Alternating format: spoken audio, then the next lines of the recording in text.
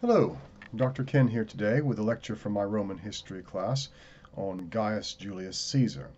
Of course, anyone is welcome to watch this, but it is specifically for my Roman history class who have the notes and slides.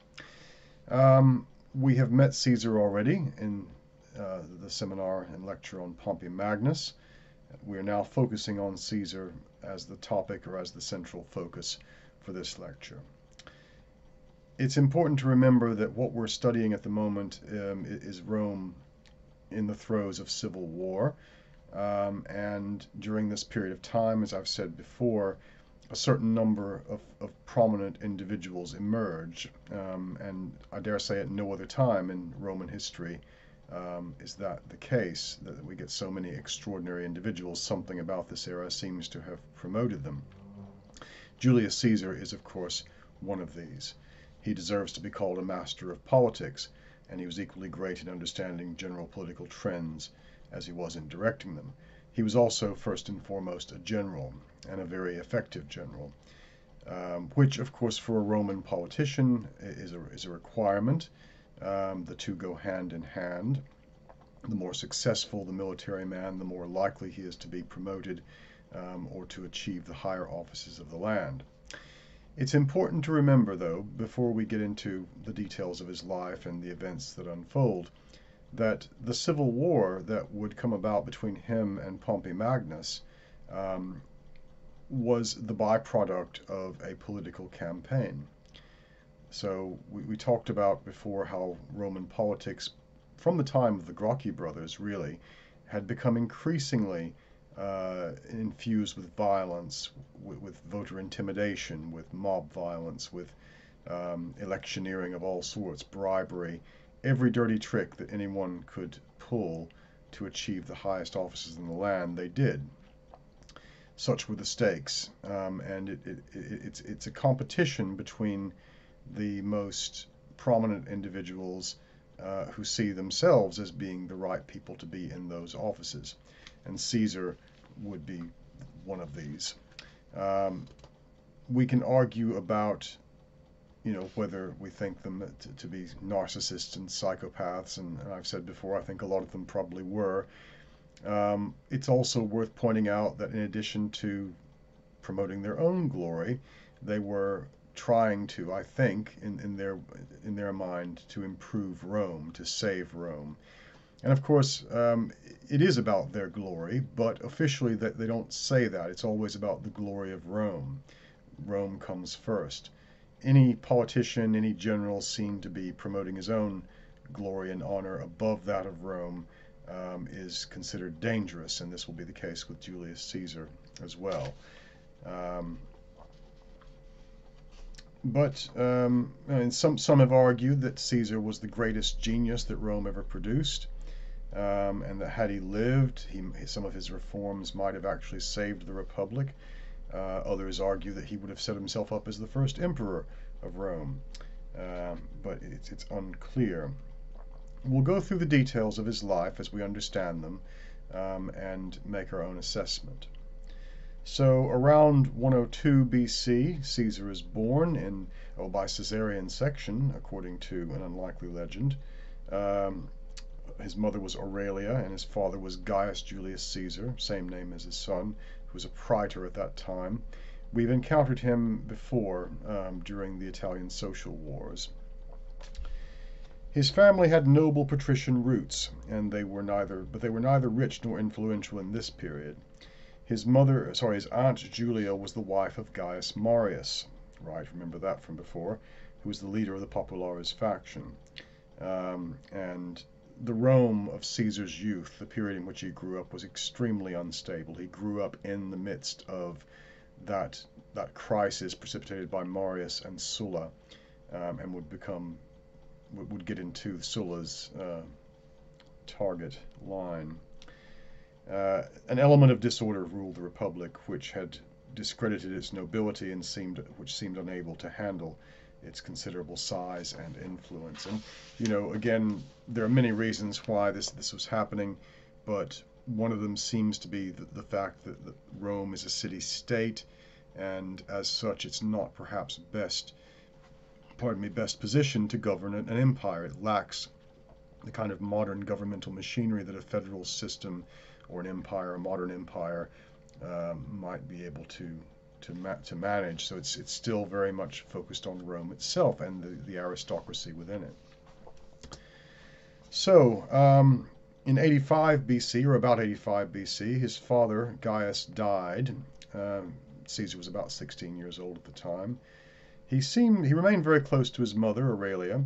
Um, as I say, though he comes from an aristocratic family, his father is, is his family is not very rich at the time. Um, he was betrothed and possibly even married, we're not entirely sure, a wealthy young woman named Cossutia. This was soon broke, either the betrothal or the marriage was broken off pretty early, um, and at the age of 18, uh, he married a woman named Cornelia, the daughter of a prominent member of the Populares faction. She later bore him his only legitimate offspring, a daughter named Julia, after his aunt. His uncle Gaius Marius had enrolled him in the Flamen as the Flamen Dialis, that's the high priest of Jupiter, um, when he was just 16 years old. Uh, however, the Optimate dictator Sulla stepped, uh, stripped him of this honor and ordered Caesar to divorce Cornelia, who was the daughter of, the, of his rival Cinna, um, or risk losing his property. When Caesar refused, and we saw this before, but this, these are more details of it, Sulla proscribed him, listed him amongst those to be executed and property uh, seized. Caesar then went into hiding. Um, the refusal to divorce Cornelia had required not only bravery, but also loyalty and a strong measure of patrician arrogance as well um, as a willingness to trust in his own good fortune. Um, a complex web of Roman aristocratic alliances saved him. So the family of Caesar's mother, Aurelia, had been instrumental in supporting Sulla, and they pushed strongly for his case. Um, the, the, the, dictator eventually gave in, lifting the prescription um, with a resigned shrug and saying, as we saw before, he saw many Mariuses in this young boy. Even so, Caesar decided he would, it would be to his benefit to leave Rome um, and embarked on a military career in Asia as a staff officer at that time. um, Marius, having enrolled him uh, into the, the ranks of the priesthood, was a way of grooming him for early political office. Um, again, most prominent politicians in Rome were, were, were, military commanders. Many of them were also priests as well, since religion um, goes along hand in hand with the state.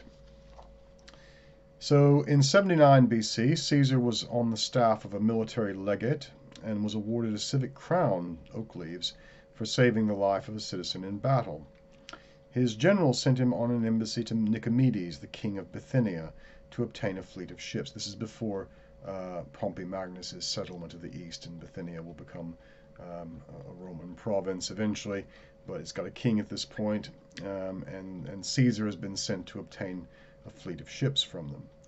He was successful, uh, but subsequently became the butt of gossip uh, that he had persuaded the king, who was well known to like young men, uh, only by agreeing to sleep with him.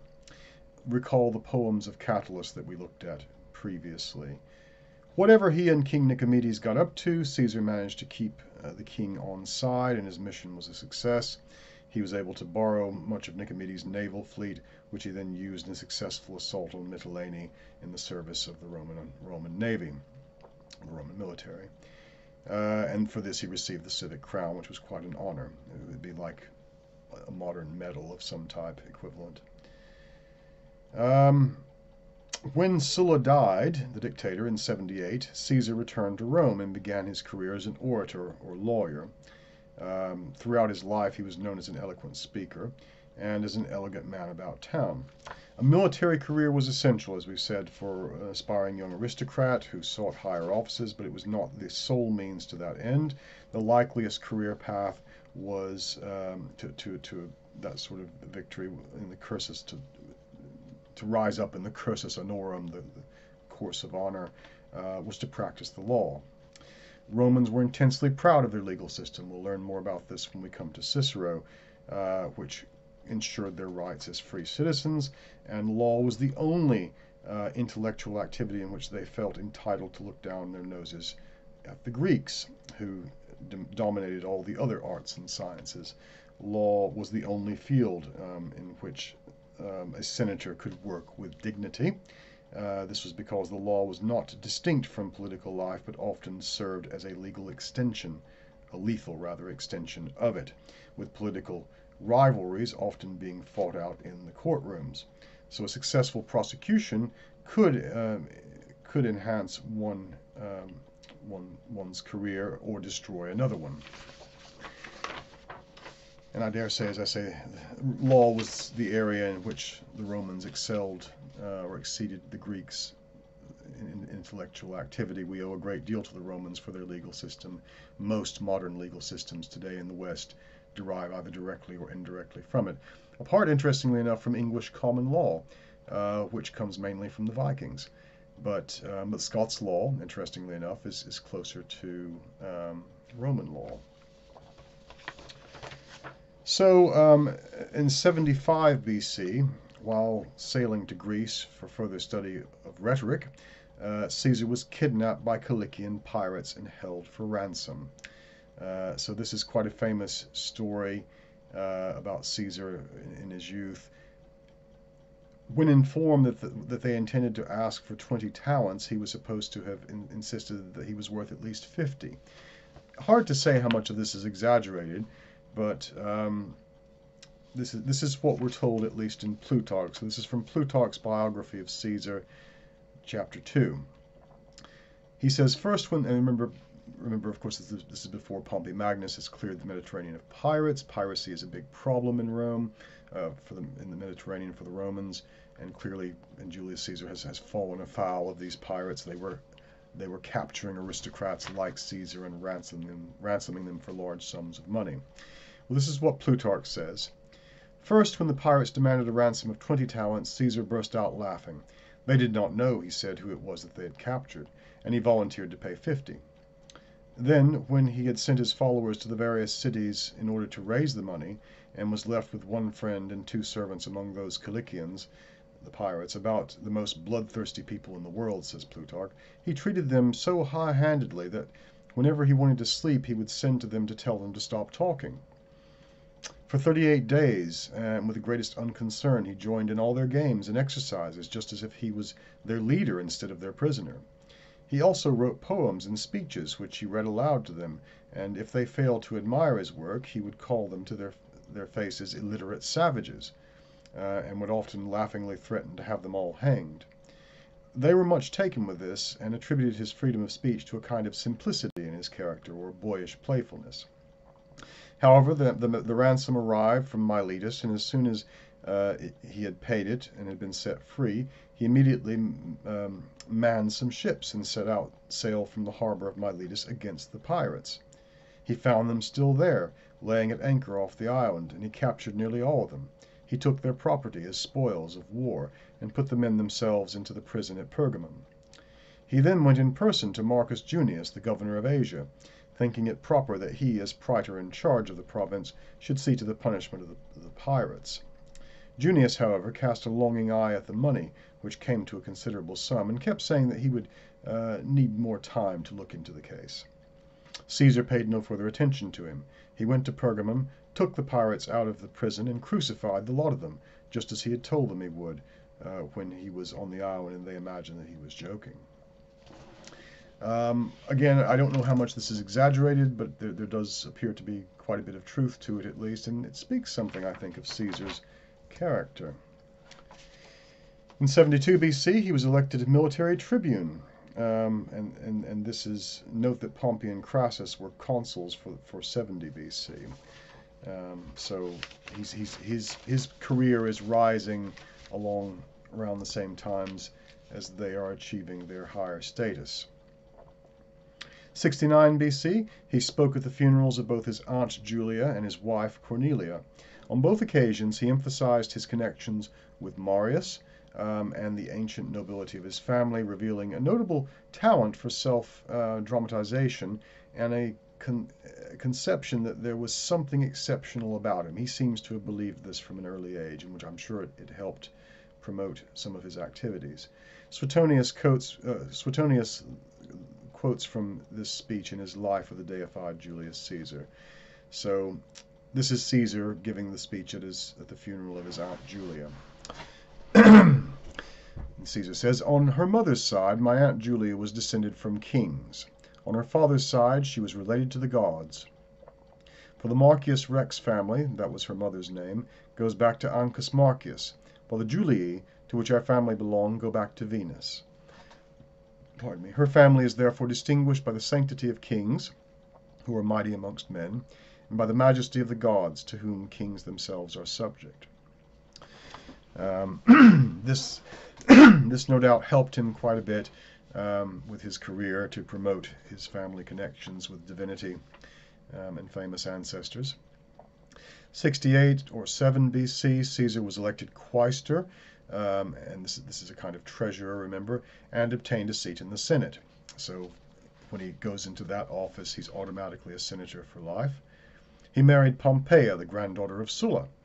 Um, Caesar supported Gnaeus Pompey and helped him get his extraordinary generalship against the Mediterranean pirates, later extended to command of the war against Mithridates, Mithridates in Asia Minor. Will recall Pompey's extraordinary commission by the Manilian law, which Caesar supported. 65 BC, he was elected curule aedile. um, and this, so this is a magistrate position in charge of sort of like public food supply and other civic affairs, and spent lavishly on games to win popular favors. Uh, large loans from Crassus. Remember Crassus, member of the triumvirate, uh, very wealthy man, made these ex expenditures possible. there were rumors that Caesar was having an affair with Gnaeus Pompey's wife, Mucia, as well as the wives of other prominent men. Um, hard to say how accurate this is. It, it, might well be Caesar attempting to deflect accusations that he had had sexual relations with King Nicomedes, and, and, specifically that he had been the receptive partner in that relationship, which would be quite negative for a Roman of his status publicly. In 63 BC, Caesar spent heavily on, in a successful effort to get elected Pontifex Maximus, chief priest. Um, and in 62, he was elected praetor, so his career is rising, um, not just in the ranks of the Senate, or the cursus honorum, as it's called, the course of honor, uh, but also in course of course of honors, but also in the uh, religious area as well. He is now the chief priest, Pontifex Maximus. Um, he divorced Pompeia because of, of, her involvement in a scandal with another man, Although the man had been acquitted, uh, in the law courts Caesar is supposed to have said, "The wife of Caesar must be above suspicion," suggesting that he was so exceptional that anyone associated with him uh, had to be free of any hint of scandal. Uh, and and then maybe I mean this this could be the case that he wanted to get rid of her anyway, and this gave him a pretext. It's not entirely clear. Uh, it doesn't look like she actually committed adultery, but he used it to get rid of her. In 61 BC, he was then sent to the province of Further Spain as propraetor.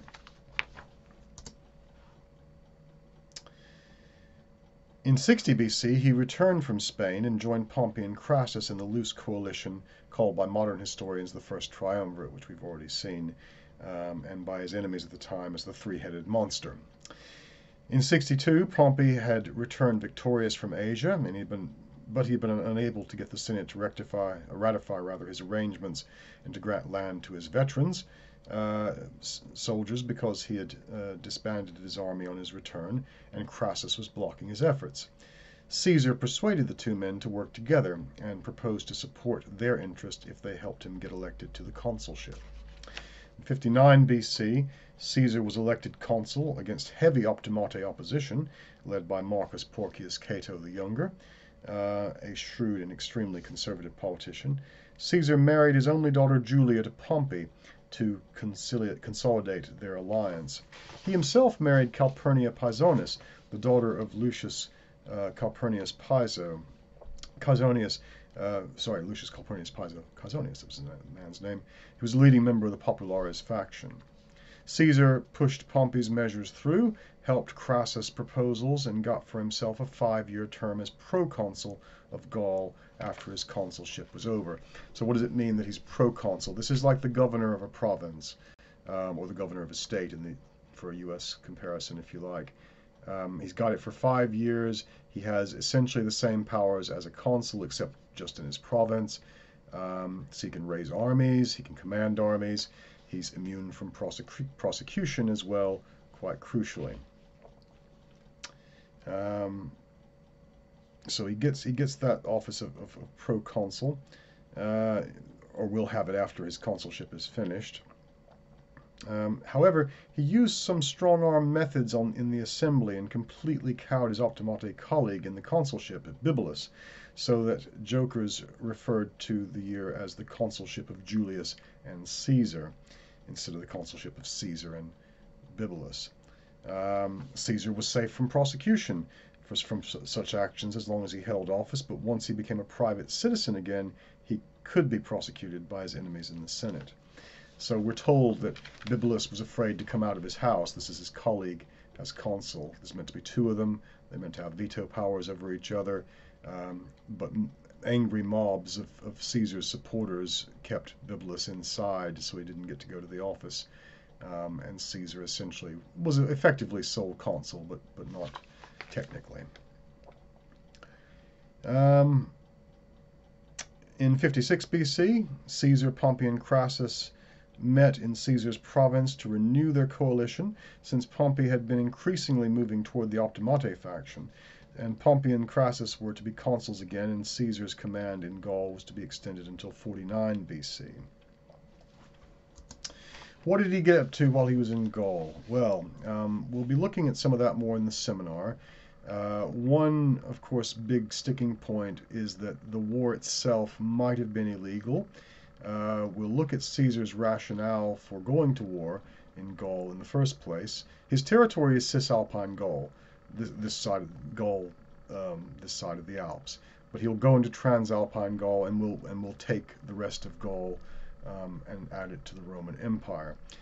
We'll look at the, the, the pretext that he uses. He claims that some of Rome's allies were attacked, and this this gave him uh, the, the, reason, the, the casus belli, uh, the cause of war to go and attack, but it is, it is debated. Um, he left Rome for Gaul uh, and would not return for nine years, in the course of which he would conquer most of what is now Central Europe, opening up these lands to Mediterranean civilization, a decisive act in world history. However, much of the conquest was an act of aggression, one would say, or that's an interpretation, prompted by personal ambition, um, fighting in the summers. He would return to Cisalpine Gaul, northern Italy, in the winters and manipulate Roman politics through his supporters. In 56 BC, um, Caesar, Pompey, and Crassus met in Caesar's province to renew their coalition. Um, as I say, as, as Pompey had Pompey had been extending, had been had been increasingly going towards the Optimates faction. It's it's starting to unravel. But um, in addition to conquering Gaul during this time, before he embarks on a civil war, Caesar will have lead a three-month expedition to Britannia. Um, this was the first official Roman crossing of the English Channel, uh, although he didn't establish a permanent base there. Now, the Greeks had actually been to Britain earlier in the 3rd century BC. A man named Pytheas of Massalia had traveled uh, around uh, the coast of Spain into Britain. He witnessed tin mining in Cornwall um, and, and travel the length of the land as far as we can tell, and possibly even further north into the Arctic Circle to witness pack ice. We're not sure if he went to Iceland or, or somewhere in, in Scandinavia, but um, he, he witnessed pack ice. This will be about the only uh, account of, of Britannia the Romans will have had. Going to Britain was a major publicity coup for Caesar, even though he doesn't take the territory official. Well, officially he does. Officially he conquers Britain. Pardon me, but um, but what he actually does is, is go and have a few fights, claims the province for for, for Rome, and returns. Um, it, it's more of a symbolic gesture. Taking his army to Britain, it, it's it's like conquering Narnia. Britain was this this mystical fairyland on the borders of the, of, of the empire, on on the on the edge of the world as far as the Romans were concerned. Um, it was a major publicity coup. It, like I say, it would be like uh, sailing your army into, sailing your fleet into Middle Earth or something from from Rome and, and taking over um, the land of the hobbits or something, the Shire. At any rate, it, it, it was an it was an epic endeavor, and it, it really aided Caesar's propaganda campaign. So um, the first expedition took place in the winter of 55 BC against Britannia, and, and, the reason for going actually was was in some ways legitimate because the, the the Celts in Britain were related to the Celts in Gaul. They were essentially the same people, at least in the southern part and and the British Celts were helping out their their Gaulish cousins. Um, so this was this was to to to try and put a stop to that. So after some difficulties in crossing the Channel, his men didn't want to go. Uh, his troops engaged in a number of skirmishes with the natives. They'd been supplying the Gauls with reinforcements. The British tribes had initially offered their obedience to Rome, uh, through envoys to Gaul, but then when Caesar first arrived, they took advantage of the difficulties uh, he experienced in the crossing and attacked him. They were defeated uh, and swore oaths of obedience, rendering up prisoners to the Romans. However, when they observed Caesar's navy had been damaged by the various by the high winter tides, um, they attacked again, and again uh, were subdued after considerable fighting. Peace was established. Caesar returned to Gaul, but some tribes rebelled while he was away, and Caesar returned again in 54 with a second, uh, larger expedition and put down the revolts. Britain was nominally claimed by Rome at this point as a province, but it wouldn't be revisited by the Romans in any military capacity until the reign of the Emperor Claudius in the next century, um, and had to be reconquered at that time, or most of it had to be reconquered. Caesar describes uh, some notable, with some notable inaccuracies the lands and peoples he encountered in the Gallic Wars. I'll read you his own description of, of, of Britannia. He says, the interior of Britain is inhabited by people who claim, on the strength of an oral tradition, to be aboriginal. The coast, by Belgic immigrants who came to plunder and make war, nearly all of them retaining the names of the tribes from which they originated, and later settled down uh, to till the soil. The population is exceedingly large, the ground thickly studded with homesteads, closely resembling those of the Gauls, and cattle are very numerous. For money they use either bronze or gold coins or iron ingots of fixed weights. Tin is found inland, uh, and small quantities of iron near the coast. The copper uh, that they use is imported. There is timber of every kind, as in Gaul, except beeches and fir. Hares, fowl, and geese they think it unlawful to eat, but rear them for pleasure and amusement. The climate is more temperate than Gaul, the cold being less severe. The island is triangular in shape, with one side facing Gaul. One corner of the side, on, on the coast of Kent, is the leading is the landing place for nearly all the ships from Gaul, and points east. And lower the lower corner points south. The length of the island is about 475 miles. Another side faces west towards Spain. It is this direction in this direction is Ireland, which is supposed to be half the size of Britain, and lies in the same direction distance from it as, as is Gaul. Midway across is the Isle of Man, and it is believed that there is also a number of smaller islands in which, according to some writers, there is a month of perpetual darkness at the winter solstice. Our inquiries on the subject were always fruitless, but we found by accurate measurements with a water clock that the nights are shorter than on the continent. This side of Britain, according to uh, the estimates of the natives, is 665 miles long. The third side faces north. No land lies opposite it but its eastern corner points roughly in the direction of Germany. Its length is estimated at 760 miles. The whole island is 1,900 miles in circumference. Not, not exactly right, but you know, not bad for, for the time. He also adds, by far the most civilized, civilized inhabitants are those living in Kent, a purely maritime district, whose way of life differs from that of the Gauls. Most of the tribes differs little rather from that of the Gauls. Most of the tribes in the interior do not grow corn, but live on milk and meat and wear skins. All the Britons dye their bodies with woad, which produces a blue color, and shave the whole of their bodies except the head and upper lip.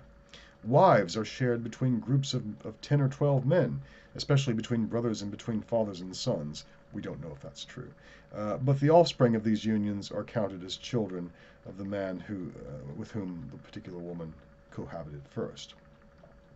These descriptions are clearly meant to portray the Britons as uncivilized savages uh, in need of Rome's civilizing influence. Uh, after the conquest of Britain, Caesar returned to Gaul to continue cam his campaign uh, there, having effectively stopped uh, or, or at any rate limited the reinforcements coming from Britain. Worth pointing out that we've actually, archaeologists have discovered Caesar's camp near, in Kent or thereabouts where it was where it was located, um, and leading up to the entrance of, of the camp were discovered along the path a number of skulls placed on posts. Um, these would have been skulls of, of defeated Celts in, in Britain, and they would have been put there uh, as a warning to any others not to attack. So it, it seems that, that Caesar encountered some pretty harsh fighting while he was in Britannia. Meanwhile, Caesar's coalition with Pompey was increasingly strained, especially after Julia died in childbirth. Plutarch recounts this as follows says, In Gaul, Caesar found letters which were about to be sent across to him. They were from his friends in Rome, and advised him of his daughter's death. She died in childbirth at Pompey's house. Great was the grief of Pompey, and great the grief of Caesar. And their friends were greatly troubled too. They felt that the relationship which alone kept the distempered state in harmony uh, and concord was now dissolved. For the babe also died presently after surviving its mother a few days. Now Julia, in spite of the, the protests of the tribunes, was carried by the people to the Campus Martius, where her funeral pyres were held, and where she lies buried. In the following year, Crassus, the third member of the triumvirate, received command of the armies in the east, but was defeated and killed by the Parthians. Things were starting to unravel. By 52 BC, uh, Caesar had defeated Vercingetorix, chieftain of the Gauls. He describes the final battle in Vercingetorix's surrender in his, his Gallic War. I'll go over that in a minute. It's worth pointing out, he refers to Vercingetorix as the king of the Gauls. He doesn't appear to have been an actual king. He appears to have been a chieftain who was then elected by the other Gauls to lead them in battle. Um, what you don't get as much of from Caesar is, is just how sophisticated Celtic Gaulish society was. It wasn't centralized like the Romans. Uh, it was very decentralized, but there were a number of cities connected by road networks and trade networks all over the continent. Um, and, and, and they, it was a different kind of civilization. Technologically, they, they weren't much different from the Romans.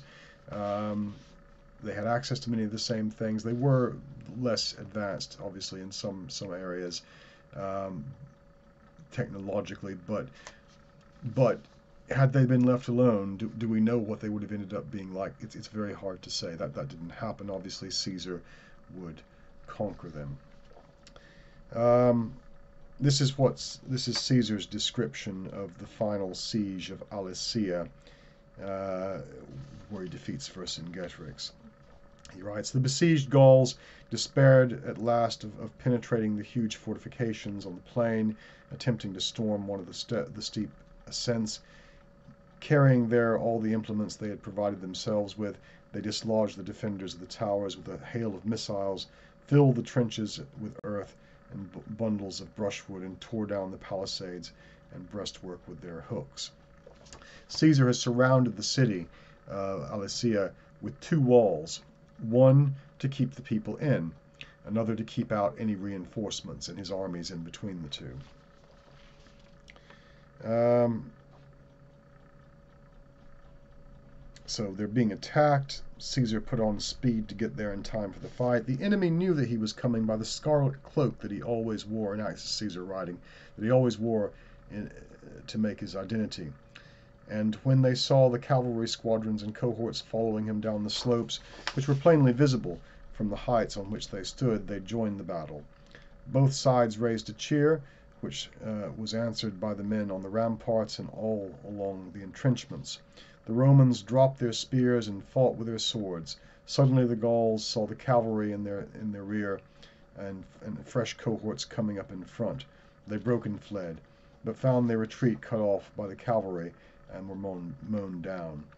As it was, a large number were taken or killed by the cavalry, which was sent in pursuit and, ret and returned with their rear soon after midnight. The survivors dispersed to their homes. we have a speech from Vercingetorix himself. Now, how did how did Caesar uh, record this speech?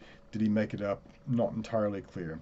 But this is the speech that Caesar says Vercingetorix made. The next day Vercingetorix addressed an assembly. I do not undertake the war, he said, for private ends, but in the cause of national liberty. And since I must now accept my fate, I place myself at your disposal. Make amends to the Romans by killing me, or surrendering me alive if you think it best. A deputation was sent to refer the matter to Caesar, who ordered the arms to be handed over and the tribal chiefs to be brought out to him. He seated himself at the fortification in front of his camp, and there the chiefs were brought. Vercingetorix was delivered up, and the arms laid down. Caesar set apart the Aeduan and Arvernian prisoners in the hope that he could use them to regain allegiance of those tribes. The rest he distributed as booty to the entire army, allocating one to every man as slaves. When the results of this year's campaign were reported in his dispatches, a thanksgiving of twenty days was celebrated in Rome. Vercingetorix was stripped naked and made to kiss a Roman eagle in submission. And, and he was held in prison uh, so, for six years. And six years after his capture, Vercingetorix was exhibited before the Senate and the people of Rome in Caesar's triumph, where he was ritually strangled.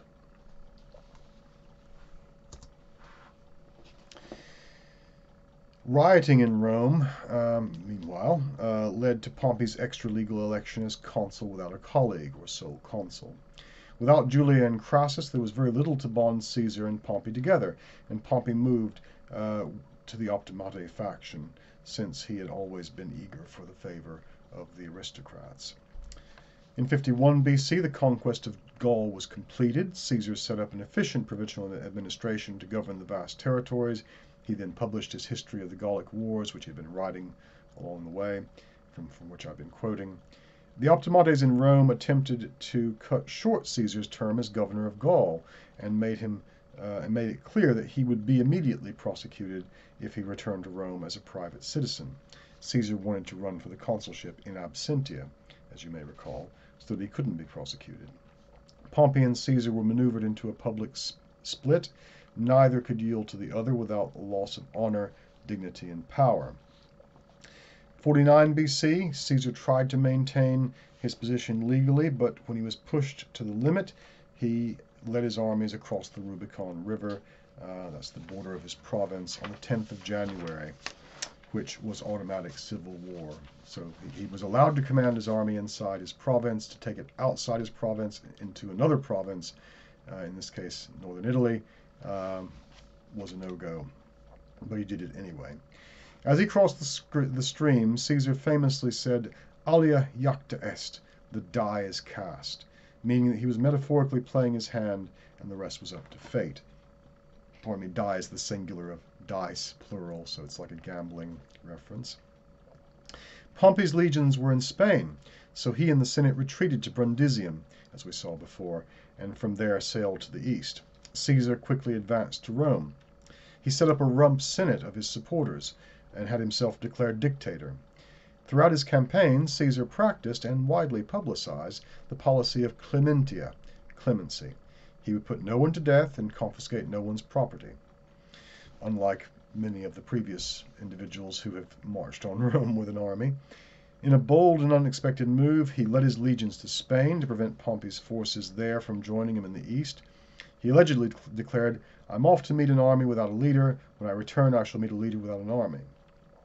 After a remarkably short campaign, campaign he returned to Rome and was elected consul, uh, thus relatively legalizing his position. In 48 BC, Pompey and the Optimate faction had established a strong position in Greece by now, and Caesar in Brundisium did not have sufficient ships to transport all his legions across. He crossed with only 20,000 men, leaving his chief legate Mark Antony in Brundisium to try and bring across the rest of the soldiers. After some rather desperate situations for Caesar, the rest of the forces did finally arrive, uh, but they were greatly outnumbered by Pompey's men. In the final battle on the plains of Pharsalus, it is estimated that Pompey had 4,000, sorry, 46,000 men to Caesar's 21,000. But by brilliant generalship, Caesar was victorious, though the toll was great on both sides.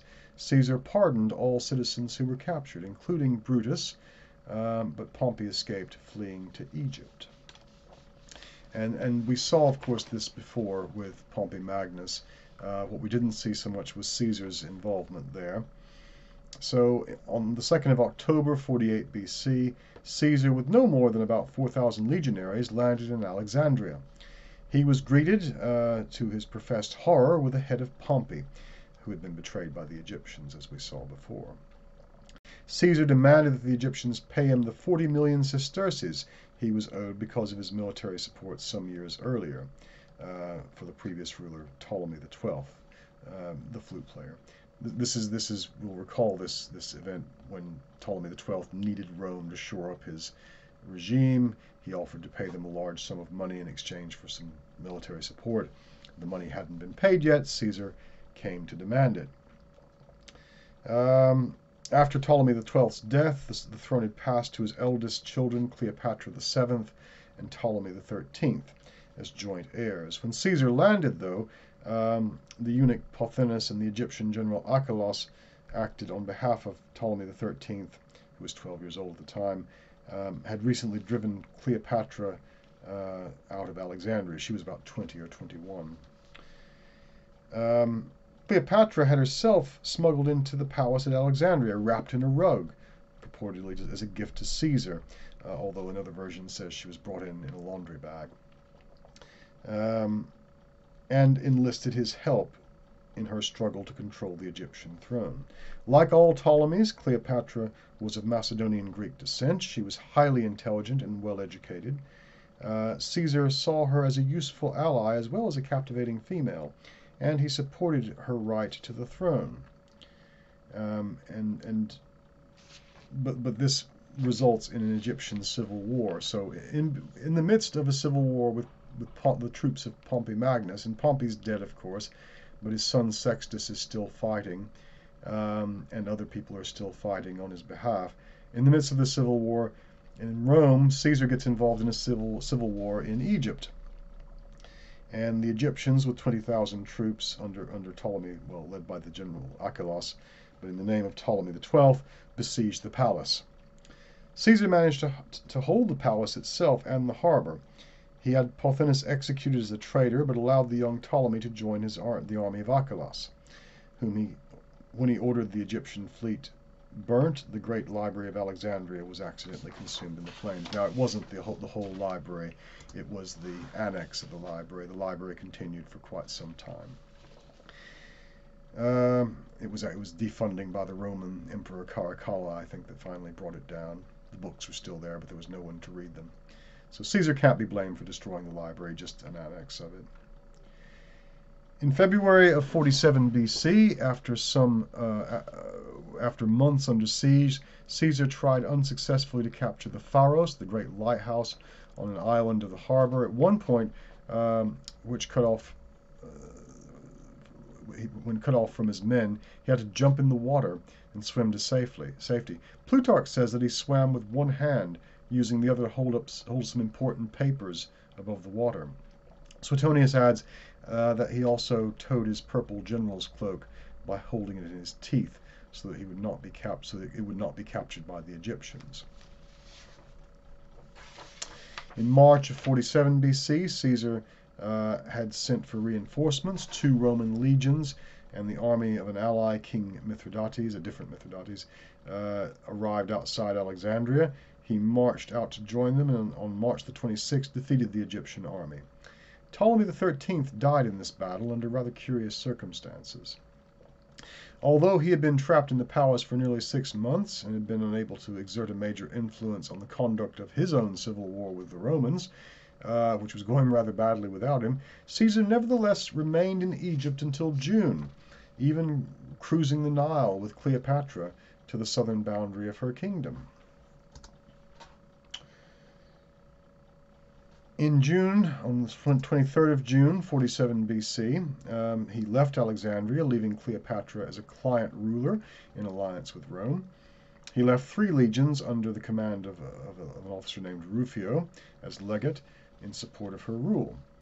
Either immediately before or soon after he left, Cleopatra bore a son, whom she named Caesarion, claiming that he was the son of Caesar. In August of 47 B.C., after leaving Alexandria, Caesar uh, swept through Asia Minor to settle the, the disturbances there. On the 1st of August, he met and immediately overcame Pharnaces, a rebellious king. He later publicized the rapidity of the victory with the slogan "Veni Vidi Vici," which means I, I claim, uh, sorry, I came, I saw, I conquered. Those three line slogans always very catchy. Three words, rather. In October of 47 BC, he, he arrived back in Rome uh, and settled the problems caused by the mismanagement of Mark Antony. We'll be looking at this in the seminar. Antony had been left in charge in Rome and seems to have handled things very badly. When he attempted to set sail for Africa to face the Optimates, who had regrouped under Cato and allied with King Juba of Numidia, his legions mutinied and refused to sail. In a brilliant speech, Caesar brought them around totally, and after some difficult battles, decisively defeated the Optimates at Thapsus, after which Cato the elder, uh, sorry, Cato the younger, committed suicide rather than be pardoned by Caesar, though Caesar offered them pardon. In July, 25th of July, in fact, 46 BC, the victorious and now unchallenged Caesar arrived back in Rome and celebrated four splendid triumphs. These were over the Gauls, the Egyptians, Pharnaces, and Juba. He sent for Cleopatra and the year old Caesarion and established them in a luxurious villa across the Tiber from Rome. In a letter to um, in a letter at this time, he, he listed his political aims as tranquility for Italy, peace for the provinces, and security for the empire. His program for accomplishing these goals, both what he actually achieved and what he planned uh, but did not have time to complete, was actually pretty sound and far sighted um, that is, resolution of the worst of the debt crisis, resettlement of veterans abroad without dispossessing others, uh, reform of the Roman calendar, which he did, the Caesarian calendar, the Julian calendar, we call it today. It's essentially our calendar uh, minus leap year, which Pope Gregory the Great added. Negotiation of regulation of the grain dole, so uh, the welfare state, strengthening of the middle classes, in, through, through works programs and, and limiting the number of slaves that could um, be in certain types of jobs, and enlargement of the Senate to 900 members. Many of these reforms were necessary um, and, and are actually pretty moderate by today's standards, but his methods alienated most of the nobles. Holding the position of dictator, Caesar governed autocratically more in the manner of a general than a politician. He knew what needed to be done, he just ordered it rather than go through the normal processes, and this made him made a created a problem for him amongst the elites, even those that he had pardoned who had fought against him. Though he nominally used the political structure, he often simply just announced his decisions in the Senate um, and had them entered on the record as senatorial decrees without debate or vote.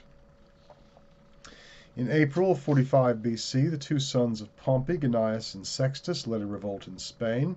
Since Caesar's legates were unable to quell the revolt, Caesar had to go himself, winning a decisive but difficult victory at Munda. Gnaeus Pompey was killed in the battle, but Sextus escaped to become later the leader of Mediterranean pirate fleet. He would be a problem for Octavian Caesar in time to come. In October of 45, Caesar was back in Rome. He celebrated a, a triumph over Gnaeus Pompey, uh, arousing discontent because triumphs were, were normally reserved for foreign enemies. This was a triumph for defeating a Roman enemy, albeit one in rebellion. Pardon me. Uh, by this time, Caesar was virtually appearing, uh, appointing all major magistrates. Um, for example, when he when he when the consul for 45 BC died on the morning of his last day of office, Caesar appointed a new consul to serve out the term from 1 o'clock p.m. to sundown. Caesar was also borrowing uh, some of the customs of the ruler cults of the Eastern Hellenistic monarchies. For example, he issued coins with his likeness on them. And you can note on, on the examples how, how the coin um, shows his age. Uh, it doesn't, un unlike some of the portraiture that would come later, the this this one illustrates his age as a mark of dignity. That would change in official portraiture. Um, he, he, allowed his statues as well, uh, especially in the provinces, to be adorned like the statues of the gods. The Senate was constantly voting him new honors the right to wear the, the laurel wreath and, in, in, public in purple and gold toga, and to sit in a gilded chair at all public functions. Um, inscriptions such as "To the Unconquerable God," etc. When two tribunes, Gaius Murilius and Lucius Flavius, were opposed these measures, Caesar had them removed from office and from the Senate. So you see how this is becoming problematic. Uh, in February 44 BC, Caesar was named Dictator Perpetuus, dictator for life. Uh, on the 15th of February, at the feast of the Lupercalia, this was a, a fertility ceremony. It's, it's, their Valentine's Day. In fact, it's probably where our Valentine's Day comes from. Caesar wore his purple garb for the first time in public. At, a public, at the public festival, Antony offered him a diadem, a symbol of Hellenistic monarchy, but Caesar refused it, saying Jupiter alone is king of the Romans possibly because he saw that people didn't want him to accept the diadem, or possibly because he wanted to, to end once and for all the speculation that he was trying to become a king. It's a curious event, and, and, and depending on what Caesar actually intended or how much of it he planned, you know, we get a different interpretation. But anyway, this is what Plutarch, this is how Plutarch describes it. Plutarch says, There was added to these causes of offense the, his insult to the tribunes. It was namely the festival of the Lupercalia, in which many write that it was it was anciently celebrated by shepherds and was also some connection with the Arcadian Lycaea, uh, the wolf games. At this time, many of the noble youths and the magistrates ran up and down through the city naked for sport and laughter, striking those they met with shaggy thongs, and many women of rank also purposely got in the way, and like children at school present their hands to be struck believing that uh, pregnant that the pregnant will thus be helped to an easy delivery and the barren to become pregnant. It's a fertility ritual. Um, these ceremonies Caesar was witnessing, seated upon the rostra on his golden throne, arrayed in triumphal attire, and Antony was one of the runners in the sacred race, for he was consul. Accordingly, after he had dashed into the forum and the crowd had made way for him, he carried a diadem around which um, which a wreath of, of, laurel was tied to, and held it out to Caesar. There was, an, there was applause, not loud, but slight and preconcerted, says Plutarch. But when Caesar pushed away the diadem, all the people applauded, and when Antony offered it again, few, and when Caesar declined it again, all applauded. The experiment having thus failed, this is Plutarch's interpretation, Caesar rose from his seat after ordering the wreaths to be carried up to the Capitol, and then his statues were seen to have been decked with royal diadems. So two of the tribunes, Flavius and Murilius, went up to them and pulled them off, and after discovering those who had first handed Caesar, hailed Caesar as king, led them off to prison. Moreover, the people followed the tribunes with applause and called them Brutuses, because Brutus was the man who had put an end to the royal succession and brought the power into the hands of the Senate people instead of the sole ruler. At this Caesar was greatly vexed, and deprived Murillus and Flavius of their office. So I think I'm not sure how much Plutarch really understands of what's going on here. I'm not sure what he's reporting is accurate. This is his interpretation. Um, at any rate, we'll talk about it more in class. Caesar was preparing to lead a military expedition against the Parthians uh, to, to take back the lost military standards and golden eagles that had been stolen, or taken from their, the legions of Crassus that had been defeated. Um, he was due to leave on the 18th of March. Although he was apparently warned of some personal danger, he nevertheless refused a bodyguard. Uh, and Plutarch details the signs and warnings of Caesar's death as follows, and I'm not going to go through that except to say that there was a, a, a soothsayer who had warned him to beware the Ides of March, um, and Caesar on the day said to him, Well, the Ides of March are come. And the seer said to him in reply, Aye, they are come, but they're not gone. So, on the 15th of March, 44 BC, Caesar attended the last meeting of the Senate before his departure, uh, held at its temporary quarters in the porter, portico of the theater built by Pompey the Great, um, the Curia located in the Forum, which was the regular meeting place the Senate, of course, had been, had been burnt down, was yet to be rebuilt. The sixty conspirators, sixty of them, led by Marcus Junius Brutus, Gaius Cassius Longinus, Decimus Brutus, Albinus, and Gaius Trebonius, came to the meeting with daggers concealed in their togas, and struck Caesar at least twenty three times as he stood at the base of Pompey's statue. Legend has it that Caesar said in Greek to Brutus, You too, my child, because Brutus's mother Servilia had been one of Caesar's lovers, and it's entirely possible that Brutus was Caesar's son. Um, Brutus is one of those Pompeians whom Caesar had pardoned. After his death, all the senators fled, and three, and, and three slaves carried the body home to Calpurnia, Caesar's wife, a few hours later. Um, Plutarch's is considered the most uh, accurate account of this event and detailed, um, more so than Suetonius. I won't go through that now. This is something we'll be looking at in the seminar more so. Um, Caesar's funeral pyre was built on the Campus Martius, to the, uh, next to the tomb of his daughter Julia. A golden shrine was established in the rostrum, modeled on the temple of Venus Genetrix. Inside was an ivory couch with gold and purple coverings. At its head stood a pillar uh, draped with clothes he was wearing when he was killed. Instead of the funeral oration, Consul Mark Antony read out a decree from the Senate in which they had voted all honors, both human and divine, on Caesar. Magistrates and ex magistrates carried his funeral bier uh, from the rostra into the forum. According to Suetonius, something happened though. While some were arguing that it be burned in the temple of Jupiter on the Capitol, and while others in the hall of Pompey, on a sudden two beings with swords by their sides and brandishing a pair of darts set fire to it with blazing torches.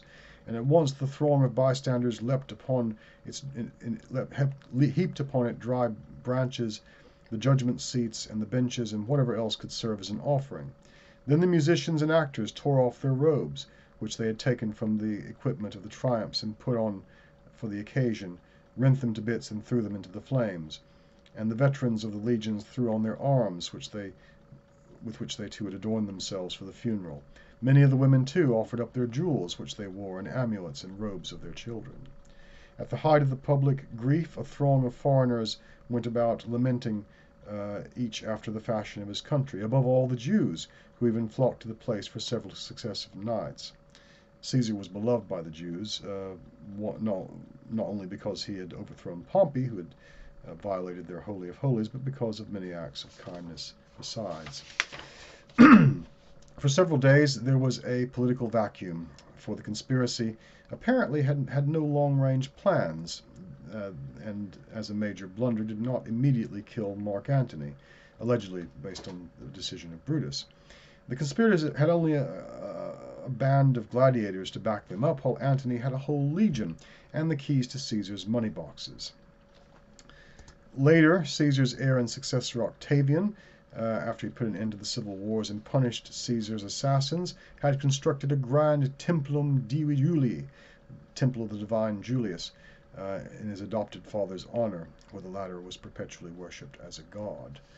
Um, in the final analysis, Caesar was truly a gifted politician, an abnormally energetic um, individual with the ability to get things done. Uh, he was, as I say, a, a, superb military commander, a very skillful politician, an excellent public speaker, trained in the arts of public speaking. Um, but his downfall was, was in no small part due to his sort of offhanded handling of, of politicians, uh, of his alienation of the senatorial elites. He knew what needed to be done and was setting about doing it, but he didn't go through the proper channels. He didn't obey the forms, um, and and and this, I think, is what led to his demise. Was he intending to set himself up as a king of Rome? Would he have restored the republic? These are questions we have to ask and they have not really been answered, but we'll discuss it more in the seminar for those of us that are there. Thank you very much for your attention. Hopefully you enjoyed this.